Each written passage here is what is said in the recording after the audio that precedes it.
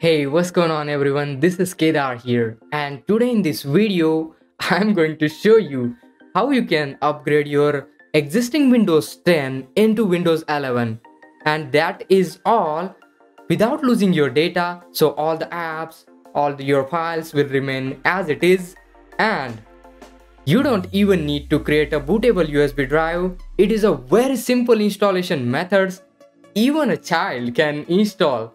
It's that simple, really. So without further ado, let's get right into the process. So before we start the upgrading process, this is my Windows 10 and let me show you what is the version. So I am going into my about PC and here you can see this is my Windows 20H2 Windows 10 Pro. So if you have this version, you can obviously do it. So yeah any version of windows 10 will work now this is the file you need to download. Links are given in the description below. This is the iso image file. Double click on it to mount this iso to your system and open in the windows explorer. You can see this window will pop up. Now you just have to double click on the setup and click on yes. And you can see windows 11 installation process will begin. And after this completes you'll get this prompt now click on next and it will check for updates. So as of right now my PC has some important data as well as some apps. You can see this is a VLC player Google Chrome Firefox and Microsoft Edge. So uh, we'll check afterwards whether these apps are migrated in our latest Windows 11 so that will be an interesting subject Honestly, this method is so much impressive, even the wallpaper in your system will be migrated into your Windows 11. So it is totally worth it to give it a try if you are using a Windows 10 and you want to get it into Windows 11. So yeah, so the process has been completed. Now in order to successfully install Windows 11, you need sufficient space and uh, there are some customized setting over here so change what to keep if you click over there you can see if you want to keep everything uh, please uh, select the first option. If you select the second option keep personal files only only uh, only the personal files will be kept apps will be deleted and nothing means a fresh installation. So i'm going to select the first one and click on next. So yeah that's pretty much it guys. Now it will install the latest windows 11 into your system during the installation process, your PC might restart few times here and there and it will do its job but uh, just take a break, uh, take a moment and it will automatically install Windows 11. Now since this is a leaked copy of Windows 11, many people are doubting like this version might have some Trojan, virus or other things like that that are not good for your personal use. So in my next video i'm going to you know uh, see if there is any virus or anything bad for you that might steal your data. Uh, results are kind of interesting.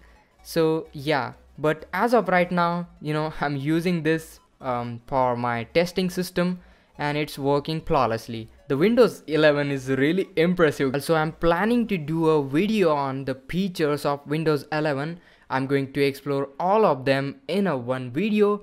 So if you are interested in that one, please do let me know in the comments down below. So I will do it. Okay, so depending on your system, it will take like 5 to 10 minutes or so. And here you can see pretty much my PC has done installing the Windows 11 and this is the first boot screen. You can see it is looking gorgeous so let's unlock the PC and let's see if ha it has a Windows 11 installed successfully. So I'm just putting my password and and the moment of the truth. So you know as usual the Windows is taking a lot of time to get the installation done. Uh, the first time it will take a long time you know guys. So there it is guys so I skipped it all for you and this is our Windows 11. Boom! You can see our Windows 11 is up and running. Now the question comes whether it has migrated my data, apps and other things like that. So let us check one by one. So first of all, uh, let's deep dive into the Windows 11. Now here you can see my Chrome, Firefox and all the apps are right over here pre-installed into my Windows 11 also let's check for the other stuff. So here you can see the wallpaper. It's uh, pretty much the exact one. And let's get into about my PC and boom here you can see this is Windows 11 Pro. And the OS build is like this. And yeah everything is good up till this point. Going into the device manager let me check few things so here I can see uh, some of my drivers are still not installed. So I might have to do that manually but that's a relatively easy task rather than you know a fresh installation. As of right now uh, this is 17 June and Windows 11 is launching on 24 June. And uh, Windows I think Windows is planning to make this upgrade free.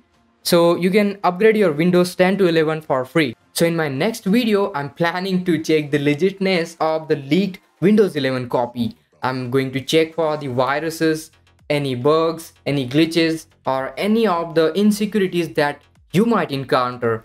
I'm going to check uh, in a really interesting way. So I hope you will like that video as well. So please hit that subscribe button to stay updated to our recent uploads.